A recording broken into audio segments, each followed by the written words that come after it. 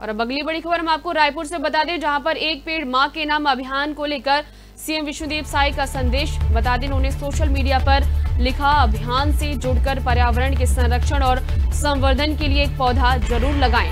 उसकी देखभाल कर उसे पेड़ बनाएँ।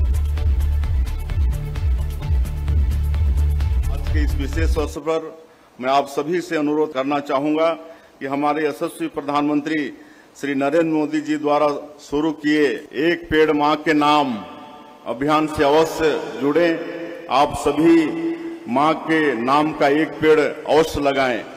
मैंने भी पेड़ लगाए हैं। हमें जितना अधिक से अधिक हो सके पेड़ लगाना चाहिए, तभी पर्यावरण बचेगा और अपने आने वाली पीढ़ियों का भविष्य हम सुरक्षित कर पाएँगे।